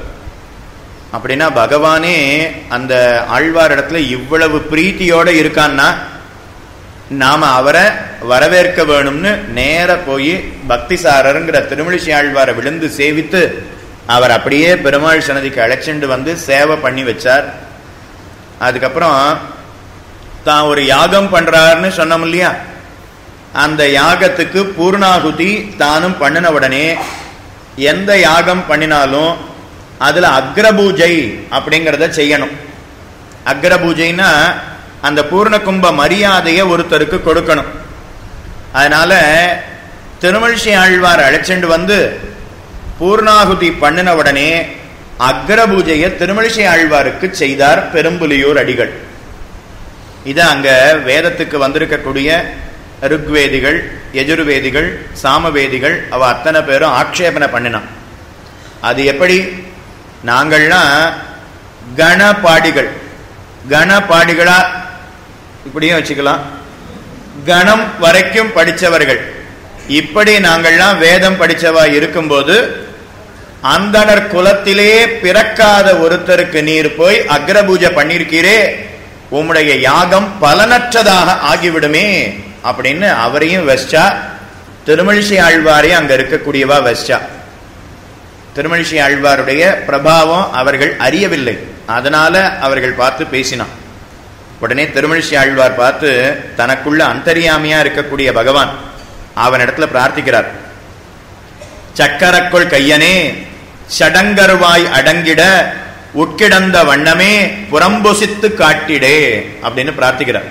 பகவானே நீ உள்ள இருக்க இவர்கள்லாம் இப்படி வெஸ்டின் இருக்காளே நீ உள்ள இருக்கக்கூடிய நிலைமைய இவர்களுக்கு காட்டி கொடுப்பாய். இவர்களுக்கு காட்சி கொடுப்பாய் அப்படின்னு வேண்டினார். உடனே திருமழிசை ஆழ்வாருடைய மனசுல பகவான் உள்ள இருக்கக்கூடிய எம்பெருமான் அப்படியே வெளியில வந்து சங்க சக்கர கதாதாரியாக ஸ்ரீதேவி பூமிதேவி நாச்சியாரோட அபார தேஜஸோட அப்படியே காட்சி கொடுத்தான். உடனே அங்க இருக்கிறவ அத்தனை பேரும் அப்படியே விழுந்து சேவித்து அபராத க்ஷாமனம் வேண்டினார்கள். எங்களை எல்லாம் மன்னித்தருள வேணும் அப்படின்னு அவ அத்தனை பேரும் பிரார்த்திச்சா. அதனால திருமழிசை ஆழ்வார் அவர்களை அனுகிரகம் பண்ணிட்டு அதுக்கப்புறம் அவ எல்லாரும் சேர்ந்து அக்ர பூஜை பண்ணினா அந்த அக்ர பூஜையை திருமழிசை ஆழ்வார் ஏற்றுக்கொண்டார். இதே போல மகாபாரதத்துல தர்மபுத்திரன் அவன் ராஜசூய யாகம் பண்ணினான். ராஜசூய யாகம் பண்ணி அக்ரபூஜையை கண்ணனுக்கு செய்தான். உடனே அங்க துரியோதனன் ஆட்சேபனம் பண்ணினான். சிசுபாலன் ஆட்சேபித்தான். எப்படி கண்ணனுக்கு செய்யலாம்? இங்க எத்தனையோ அந்தணர்கள் இருக்கா? அவர்களுக்கு பண்ணலாம். எத்தனையோ பெருப்பெருத்த வீரர்கள் இருக்கா? அவர்களுக்கு செய்யாம ஒரு இடையனான கண்ணனுக்கு போய் எதற்காக அக்ரபூஜை பண்ணினீர்? அப்படின்னு தர்மபுத்திரன் இடத்துல கேட்டான். இந்த சரித்திரம் நீங்க கேள்விப்பட்டிருப்பீர்கள். அதனால எல்லாரும் கண்ணனை காட்டிலும் உயர்ந்தவன் இந்த கோட்டையில யாரும் கிடையாது. அதனால கண்ணனுக்குத்தான் அக்ரபூஜை பண்ணணும்னு எல்லாரும் ஒத்துண்டா? அதனால செய்தோம்னு பீஷ்மர் எழுந்து சொன்னார். அடுத்து சகதேவன் எழுந்து கண்ணனை தவிர வேற யாருக்காவது அக்ரபூஜை பண்ணினா அவர்களுடைய தலையில என்னுடைய இடது காலை வைக்கிறேன் அப்படின்னு சொன்னான். தேவர்கள் அப்படியே புஷ்பமாரி பொழிந்தார்கள். சகதேவன் மேல. இதே தான் பீஷ்மர் சொன்னார். ஆனா பீஷ்மர் சொன்னது என்னன்னா கண்ணனுக்கு அக்ரபூஜை கொடுக்க வேணும் அப்படின்னு சொன்னார். அப்போ தேவர்கள் புஷ்பமாரி பொழியல. கண்ணனை தவிர வேற யாருக்கும் கொடுக்க கூடாது அப்படின்னு சகதேவன் சொன்னான். அவனுக்கு புஷ்பமாரி பொழிந்தார்கள். அதனால கண்ணனை அப்போ சிசுபாலன் வைதான். கண்ணன் திருடன் கண்ணன் பொய்யன் கண்ணன் களவாளி அப்படின்னு கண்ணன் அப்படியே வச்சான். இந்த சிசுபாலன் அவ அம்மா கண்ணனுக்கு அத்தை. சிசுபாலன் யாரு? கண்ணனுக்கு அத்தை பிள்ளை. பிறந்த உடனே அவ அம்மாவுக்கு அசரீரி சொல்லிடுத்து கண்ணனால தான் உன் பிள்ளைக்கு மரணம் ஏற்படும்னு. அதனால கண்ணனிடத்துல வந்து என் பிள்ளைய கொன்னுடாதேன்னு வேண்டினான். இல்லை இல்லை அவன் அதர்மத்தின் வழி நடந்தா நான் அழித்தே தீருவேன். எனக்கு அத்தை பிள்ளை மாமா பிள்ளைன்னுலாம் நான் பார்க்க மாட்டேன். அதர்மத்தின் வழி இருந்தால் நான் அவனை அழித்தே தீருவேன்னு கண்ணன் சொன்னான். நான் உன்னுடைய அத்தை இல்லையா? எனக்காக ஏதாவது ஒன்று பண்ணக்கூடாதா? அப்படின்னு வேண்டினான். சரி வேணும்னா ஒன்று பண்ணுறேன் நூறு தவறு செய்வது வரைக்கும் நான் பொறுத்துன்னு இருப்பேன் மற்றவாளுக்கெல்லாம் அந்த அனுகிரகம் கிடையாது. உன் பிள்ளைக்கு மட்டும்தான். அத்தை பிள்ளைங்கிறதுனால நூறு தவறு செய்வது வரைக்கும் நான் பொறுத்துருப்பேன் இருப்பேன் அதுக்கு மேல பண்ணினா அவனை அழித்து விடுவேன்னு சொன்னான். சரி இப்போ ஒரு தப்பு ரெண்டு தப்பு பண்ணினாலே நாம சொல்லி அவனை திருத்திடலாம்னு அவன் நினைச்சுண்டு ஒத்துண்டா. இப்போ அக்ரபூஜை கண்ணனுக்கு கொடுத்த உடனே சிசுபாலன் அப்படியே வெய்ய ஆரம்பிக்கிறான். கண்ணன் திருடன் ஒன்று கண்ணன் பொய்யன் ரெண்டு கண்ணன் களவாளி மூணு பத்து தொண்ணூத்தொம்பது நூறு முடிஞ்சு போச்சு. அதுக்கப்புறம் சக்கராயுதத்தை எடுத்து சிசுபாலனை அழித்தான். அதனால அக்ரபூஜை பண்ணும்போது யாராவது ஆக்ஷேபனை பண்ணினா அவர்களுக்கு அழிவு நேரும். அதனால அவ அத்தனை பேரும் இந்த சரித்திரத்தை அறிந்தார்களே அப்படியே விழுந்து அழ்வீர் உம்முடைய பிரபாவத்தை அறியாமல் நாங்கள் பேசிவிட்டோம். எங்களை மன்னித்தருள வேணும் அப்படின்னு அவ அத்தனை பேரும் அபராத க்ஷாமனம் வேண்டினார்கள். அவ எல்லாரையும் அனுகிரகம் பண்ணிட்டு கும்பகோணத்தை நோக்கி தானும் புறப்படுகிறார் திருமணிசை ஆழ்வார் கும்பகோணத்தில் அங்கே பெருமாள் படுத்துன்றிருக்கார். சாரங்க சாரங்கபாணி. அந்த பெருமாள் சயனத்துக்கு உத்தான சயனம் அப்படின்னு பெயர். அது எதனால உத்தான சயனம்னா திருமழிசை ஆழ்வார் வரார். பெருமாள் படுத்துன்றிருக்கார். திருமழிசை ஆழ்வார் பார்த்து நான் உன்னை பாடணுங்கிறதுக்காக வரேன். ஆனா நீ என்ன படுத்துன்றிருக்க? நீ எழுந்து அழ்வீர் வாரும். அப்படின்னு என்ன ஒரு நல் வார்த்தை சொல்ல வேண்டாமா? எனக்கு தீர்த்தம் ஸ்ரீ சடகோபம் இதெல்லாம் கொடுக்க வேண்டாமா? நீ சூடி களைந்த மாலையை எனக்கு கொடுக்க வேண்டாமா? அழ்வீர் எப்படி இருக்கீர்? அப்படின்னு என்ன குசல பிரச்சனம் பண்ண வேண்டாமா? என்னுடைய அழக பாரும். என்ன தன்னுடைய அழகை காட்டி ஒரு நாலு பாசனம் வாங்கிக்க வேண்டாமா? ஆனா ஒன்னும் செய்யாம அப்படியே இவர் படுத்துன்னு இருக்காரே. அதனால பார்த்து பெருமா பெருமாள் படுத்துன்னு அதனால திருமழிசை ஆழ்வார் பார்த்து அந்த பெருமாளை பார்த்து கேட்கிறார் நீ இப்படி படுத்துன்ருக்கியே நடந்த கால்கள் நொந்தவோ? நடுங்க ஞால மேனமாய்? இடந்தமை குலுங்கவோ? விலங்குமால் வரைச்சுரம்? கடந்த கால் பரந்த காவிரிக்கரை குடந்தையுள் கிடந்தவார் எழுந்திருந்து பேசு வாழிகேசனே நீ படுத்துன்ருக்கியே நடந்த கால்கள் நொந்தவோ? ராமாவதாரம் பண்ணின சமயத்துல அயோத்தியிலிருந்து லங்கை வரைக்கும் நடந்தே போனியே. அதனால ஏற்பட்ட சோர்வை போக்கணுங்கிறதுக்காக இங்க வந்து படுத்துருக்கியா நடந்த கால்கள் நந்தவோ? நடுங்க ஞாலமேனமாய் இடந்தமை குலுங்கவோ? நீ அன்னைக்கு வராக அவதாரம் பண்ணி பூமி பிராட்டியை ரட்சிக்கணுங்கிறதுக்காக ஹிரண்யாட்சனோடு யுத்தம் பண்ணினாயே. அந்த சோர்வு போகணுங்கிறதுக்காக இங்க வந்து படுத்துருக்கியா நடுங்கஞால நடுங்க மேனமாய் இடந்தமை குலுங்கவோ? விலங்குமால் வரைச்சுரம் கடந்த கால் பரந்த காவிரி கரை குடந்தையுள். இந்த காவேரி கரையோரமா இங்க வந்து படுத்துட்டு இருக்கியே எதுக்காக? அந்த சோர்வெல்லாம் இல்லை. ஆனா நீ என்னை பார்க்காம பேசாம என்ன அனுகிரகம் பண்ணாம படுத்துட்டு இருக்கியே எழுந்துரு அப்படின்னு சொன்னார். பெருமாள் படுத்திருந்தவர் திருமழிசை ஆழ்வார் அவருக்கு கோபம் வந்துடுத்தே நாம எழுந்துடுவோம். அப்படின்னு எழுந்து உட்காரணும்னு வந்தாராம். திருமணிஷி ஆழ்வார் பார்த்து நான் யாரு? எவ்வளவு தாழ்ந்தவன்? நான் ஒரு வார்த்தை சொன்னேங்கிறதுக்காக பெருமாள் படுத்துட்டு அந்த காட்சியை மாத்திண்டு உட்காரணும்னு எழுந்திருக்கிறாரே. வேண்டாம். பெருமாளே அப்படியே இரு. அப்படின்னு சொன்னார். இப்ப பெருமாளுக்கு குழப்பம். என்ன படுன்னு சொல்றாரா?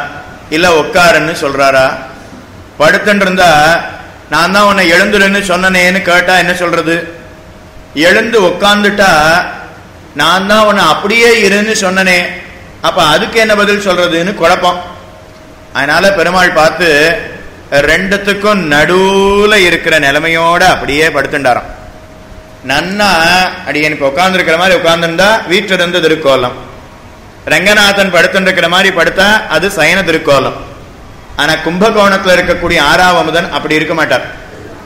முழுக்க படுத்தணும் இல்லாம முழுக்க அமர்ந்து கொண்டும் இல்லாம ரெண்டுத்துக்கும் நடுவுல உட்கார்ந்த மாதிரியும் சாஞ்ச மாதிரியும் இருக்கிற மாதிரி படுத்துட்டு இருப்பார். அதுக்குத்தான் உத்தான சயனம் அப்படின்னு பெயர். உன்னை நான் படுக்கத்தானே சொன்னேன் அப்படின்னா ஆமோ அதோ உட்கார்லையே படுத்துன்னு தானே இருக்கேன் அப்படின்னு சொல்லிடலாம். உம்ம நான் படுத்துன்னு இருந்தத எழுந்துரும்னு சொன்னனே. ஆமோ ஏதோ எழுந்துட்டு இருக்கனே அப்படின்னு சொல்லிடலாம். அதனால எதை கேட்டாலும் அப்படி சொல்லிடுவோமே. நம்ம மாட்டோம். நாம ஏதாவது இது இப்படியும் போலாம் அப்படியும் போலாம். ரெண்டும் கட்டான்னு சொல்றோமே. முதல் ரெண்டும் கட்டான் கும்பகோணம் ஆறாவமுதன் எம்பெருமான் தான். அதனால கிடந்த திருக்கோலமும் இல்லாம அமர்ந்த திருக்கோலமும் இல்லாம ரெண்டுத்துக்கும் நடுவுல இருக்கக்கூடிய திருக்கோலத்தோட கும்பகோணத்துல ஆறாவமுதனாக அமுதனாக பகவான் காட்சி கொடுக்கிறான். நடந்த கால்கள் நொந்தவோ நடுங்க ஞால மேனமாய் இடந்தமை குலுங்கவோ விலங்குமால் வரைச்சுரம் கடந்த கால் பரந்த காவிரிக்கரை குடந்தையுள் கிடந்தவார் எழுந்திருந்து பேசு வாழிகேசனே அப்படின்னு பாடினார். அதனால கும்பகோணத்து ஆறாவமுதன் பார்த்து உம்ம நான் தான் காஞ்சிபுரத்திலிருந்து இங்க வர சொன்னேன். இப்படி என்ன பாடணுங்கிறதுக்காகத்தான் உம்மை வர சொன்னேன் அப்படின்னு சொல்லி அவர் அனுகிரகம் பண்ணினான் இனிமே நீர் இந்த லோகத்துல வாழ்ந்தது போதும். இனிமே உம்மை பிரிந்து நம்மால இருக்க முடியாது. அதனால உமக்கு நாம் வைகுந்தத்தை தருகிறோம் அப்படின்னு கும்பகோணம் ஆறாவமுத பெருமான் அவருக்கு வைகுந்தத்தை கொடுத்தானாம் அதனால திருமழிசை ஆழ்வார நாம திருமழிசை ஆழ்வார்னு சொல்றது இல்லை திருமழிசை பிரான் அப்படின்னு தான் சொல்றோம். கும்பகோணத்தில் இருக்கக்கூடிய ஆறாவ அமுதனை ஆறாவ அமுத ஆழ்வார் அப்படின்னு சொல்றோம். பெருமாளுக்கு பேர் மாறிடுச்சு. ஏன்னா பெருமாளுடைய பெயர் என்னன்னா ஆறாவமுத பிரான் அப்படின்னு தான் முன்னாடி இருந்த பெயர். தன்னுடைய பெயரை அப்படியே திருமணிசி ஆழ்வாருக்கு கொடுத்துட்டார். ஆறாவ அமுதன்கிறத தான் வச்சுண்டு பிரான் அப்படிங்கறத திருமணிசி ஆழ்வார்கிட்ட கொடுத்துட்டார். திருமணிசை ஆழ்வாருக்கு திருமலிசை ஆழ்வார்னு பேரு. அவர் தன்னுடைய பெயரை திருமலிசை அப்படிங்கிறத தான் வச்சுண்டு ஆழ்வாருங்கிறத பெருமாளுக்கு கொடுத்துட்டார். அதனால இப்ப பேர் மாறி போச்சு பெருமாள் பேர் என்ன? முன்னாடி ஆறாம் அமுத பிரான் இப்ப அப்படியே மாறி போச்சு திருமழிசை ஆழ்வார் அப்படின்னு பேரு. இப்போ அப்படியே மாறி போச்சு இந்த ஆறாம் அமுத பிரான்ல பிரான் இங்கே இவருக்கு வந்துடுச்சு. திருமழிசை ஆழ்வார்ல ஆழ்வார் அவருக்கு போயிடுத்து. அதனால இப்ப ஆழ்வார் பேர் என்ன அப்படின்னா திருமழிசை பிரான். பகவான் பேர் என்ன அப்படின்னா ஆறா வமுதாழ்வார். அதனாலதான் திருவாய்மொழி நூற்றந்தாதி அப்படிங்கிற திவ்ய பிரபந்தத்துல மணவாழ மாமனிகள் இந்த பெருமாளை பாடும்போது ஆறா அமுதாழ்வார் ஆதரித்த பேறுகளை தாராமையாலே தளர்ந்து மிக அப்படின்னு பாடுறார். அதனால பெருமாளுக்கு ஆறாவ அமுதாழ்வார்னு திருநாமம். திருமழிசை பிரான் அப்படின்னு இவருக்கு திருநாமம். காலக்ஷேபம் கேட்கறதுக்கு முன்னாடி நீங்க என்ன சொல்லணும்? நாலாவது ஆழ்வார் யாரு? திருமழிசை ஆழ்வார். இப்ப காலக்ஷேபம் கேட்டாச்சு. இப்ப நால்வா நாலாவது ஆழ்வார் யாரு? திருமழிசை பிரான். அதே போல கும்பகோணத்துல இருக்கக்கூடிய பெருமாள் பேர் என்ன? ஆறாவ் அமுத பிரான். ஆழ்வார் சரித்திரம் கேட்கறதுக்கு முன்னாடி திருமணிஷி ஆழ்வார் சரித்திரம் கேட்டதுக்கு அப்புறம் இப்போ அந்த எம்பெருமான் பேர் என்னன்னா ஆறாவ் அமுதாழ்வார் அப்படின்னு சொல்லணும். ரெண்டு பேரும் தன்னுடைய பெயரை கூட மாத்திக்கிற அளவுக்கு நெருக்கமா. நாம கல்லூரியில படிச்சுட்டு இருப்போம். படிச்சுட்டு இருக்கும்போது நம்ம நண்பர்கள் எவ்வளவு நெருக்கம்னா அவர் சாப்பாட்டை இவர் சாப்பிட்டுடுவர். இவர் சாப்பாட்டை அவர் சாப்பிடுவர். அப்போ அவ்வளோ நெருக்கம். இவர் தட்டை அவர் உபயோகப்படுத்திப்பார். அவருடைய தட்டை இவர் உபயோகப்படுத்திக்கார். அப்போ அவ்வளோ நெருக்கம். இன்னும் ஒரு படி மேலே போய் இவர் சொக்காய அவர் போட்டுண்டு போயிடுவார். அவர் சொக்காய இவர் போட்டுண்டு போயிடுவார். சட்டை சொக்காயினா சட்டை. அதனால அவ்வளவு நெருக்கம் நண்பர்கள்னா. அதை போல திருமழிசை ஆழ்வாரும் ஆறாவமுத பெருமாளும் அவ்வளவு நெருக்கம். அதனால பேரையே மாத்திண்டாளாம். அதனால ஆறாவமுத பிரான் திருமழிசை ஆழ்வார் அப்படிங்கிறது பேர் மாறி போச்சு. திருமழிசை பிரான் அப்படின்னு அவருக்கு பெயர் ஏற்பட்டது. அந்த திருமழிசை பிரானுக்கு அவர் பார்த்து மோட்சத்தை கொடுக்கிறார். அவர் நிறைய கிரந்தம் எழுதி வச்சாராம் திருமழிசை ஆழ்வார். இப்போ அந்த கும்பகோணத்தில் இருக்கக்கூடிய அடியார்கள்லாம் நீர் நிறைய திவ்ய பிரபந்தம் எழுதி வச்சிருக்கீர். எல்லாத்தையும் எங்களால் படிக்கிற அளவுக்கு எங்களுக்கு சாமர்த்தியம் இல்லை. அதனால சிறந்ததா ஏதாவது ஒரு ரெண்டு கிரந்தத்தை மட்டும் ரெண்டு நூலை மட்டும் எங்களுக்கு கொடும் அப்படின்னு சொன்னாலாம் அதனால அவர் பார்த்து தான் எழுதி வச்ச எல்லா பாசுரத்தையும் அப்படியே எடுத்துட்டு வந்து காவேரியில போட்டுட்டார். காவேரி தாயே உலக மக்களுக்கு இனிமே பின்பு பிறக்கக்கூடியவர்களுக்கு எந்த திவ்ய பிரபந்தம் இருக்கிறதுலேயே சுலபமா இருக்குமோ அதை மட்டும் நீ கொடு. மற்றதெல்லாம் நீ எடுத்துட்டு போயிடுன்னு பிரார்த்திச்சாராம். அதனால காவேரி காவேரி தாயாருக்குள்ள நிறைய நூல்கள் அவர் அவர் எழுதி வச்ச நூல்களை போட்டுட்டார். அதிலிருந்து ரெண்டே ரெண்டு நூல்களை மட்டும் காவேரியே கொண்டு வந்து கொடுத்தாளாம். அதனால திருமழிசை ஆழ்வார் அருளி செய்தது இரண்டு திவ்ய பிரபந்தம். அதுல ஒன்றுக்கு நான்முகன் திருவந்தாதின்னு பெயர். மற்றொன்றுக்கு திருச்சந்த விருத்தம் அப்படின்னு பெயர். ரெண்டு திவ்ய பிரபந்தம். நேற்று மூணு ஆழ்வார்கள் சரித்திரம் பார்த்தோம். பொய்கை ஆழ்வார் புதத்தாழ்வார் பேயாழ்வார் அவ மூணு பேரும் ஓரோரு திவ்ய பிரபந்தத்தை அருளி செய்தார்கள். பொய்கை ஆழ்வார் அருளியது முதல் திருவந்தாதி. இரண்டாவது ஆழ்வார் புதத்தாழ்வார் அருளியது இரண்டாம் திருவந்தாதி. மூன்றாவது ஆழ்வார் பேயாழ்வார் அருளியது மூன்றாம் திருவந்தாதி. இப்ப நான்காவது திருமழிசை பிரான் அவர் அருளி செய்தது இரண்டு திவ்ய பிரபந்தங்கள். அதுல ஒன்றுக்கு நான்முகன் திருவந்தாதின்னு பெயர். அடுத்த ரெண்டாவதுக்கு திருச்சந்த விருத்தம் அப்படின்னு பெயர். இந்த திருச்சந்த விருத்தம்ங்கிறது முதலாயிரத்தில் இருக்கு. நான்முகன் திருவந்தாதிங்கிறது இயற்பால இருக்கு. நாலாயிரத்தை எப்படி பிரிச்சிருக்கான்னா முதலாயிரம் இரண்டாம் ஆயிரம் மூன்றாம் ஆயிரம் நான்காம் ஆயிரம் அப்படின்னு பிரிச்சிருக்கா. அதுல முதலாயிரத்துக்கு அப்படியே தான் பேரு. முதலாயிரம்னே பேரு. ரெண்டாம் ஆயிரத்தை ரெண்டாம் ஆயிரம்னு சொல்றது வழக்கம் இல்லை ரெண்டாவது ஆயிரத்தை என்ன சொல்லுவான்னா பெரிய திருமொழி அப்படின்னு சொல்லுவா. அப்போ முதல் ஆயிரம் பாசுரத்துக்கு என்ன பேரு? முதல் ஆயிரம்.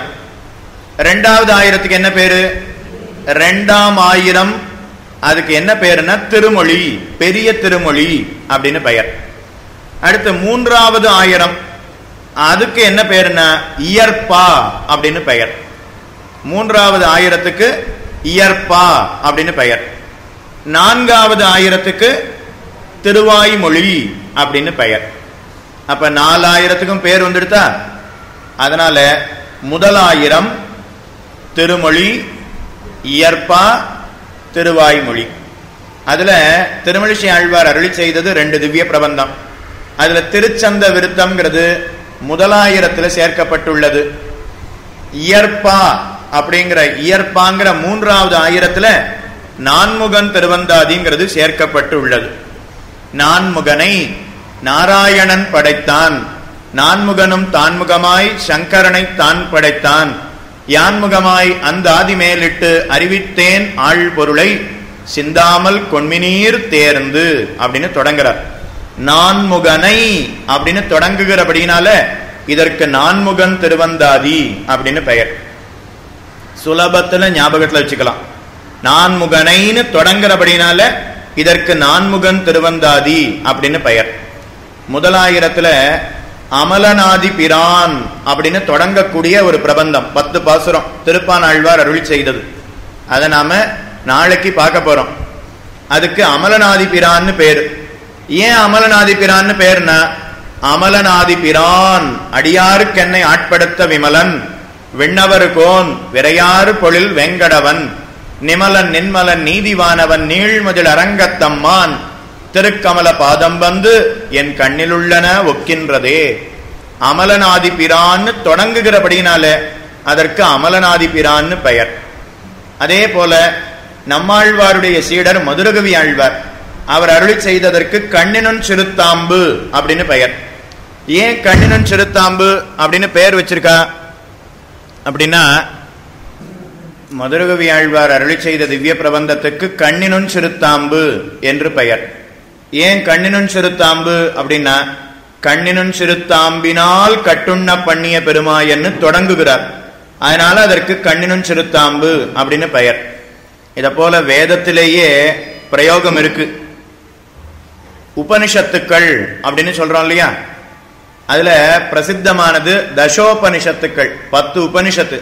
ஈஷ கேன கட பிரஷ்ன முண்டக மாண்டுக்கிய தைத்ரேய ஐத்தரேய சாந்தோக்கிய பிருகதாரண்யம்னு பத்து உபனிஷத்துக்கள்.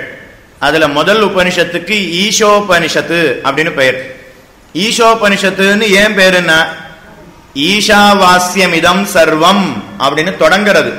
அதனால அதற்கு ஈசோபனிஷத்து அப்படின்னு பெயர்.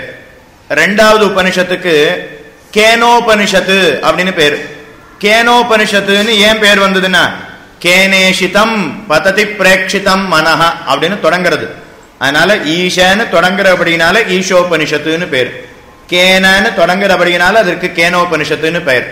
அதனால வேத வேதாந்தங்கள்ல இருக்கக்கூடிய பிரயோகத்தை தான் அப்படியே ஆழ்வார்கள் பாசுரங்களுக்கு வச்சிருக்கா. அதனால நான்முகனை அப்படின்னு தொடங்குகிறபடினால இதற்கு நான்முகன் திருவந்தாதி அப்படின்னு பெயர். தொண்ணூத்தி ஆறு பாசுரங்களோட கூடியிருப்பது நான்முகன் திருவந்தாதி. முதல் திருவந்தாதி நூறு பாசுரம். இரண்டாம் திருவந்தாதி நூறு பாசுரம். மூன்றாம் திருவந்தாதி நூறு பாசுரம். ஆனா நான்முகன் திருவந்தாதி தொண்ணூத்தி ஆறு பாசுரம். அடுத்து திருச்சந்த விருத்தம். அவர் அருளி செய்த மற்றொரு திவ்ய பிரபந்தம் திருச்சந்த விருத்தம். அது நூற்றி இருபது பாசுரம்.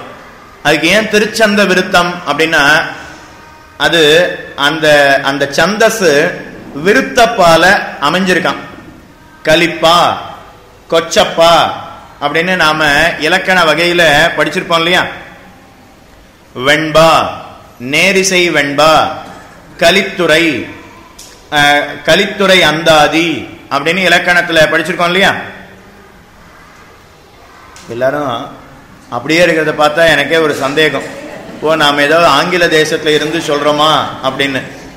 ஏன்னா நேர் நேர் தேமா நிறை நேர் புளிமா நேர் நேர் நேர் தேமாங்காய் நிறை நேர் நேர் புளிமாங்காய் இப்போ இதெல்லாம் நாம் சொன்னோம்னா சுவாமி இதெல்லாம் எந்த மரத்தில் கிடைக்கும்?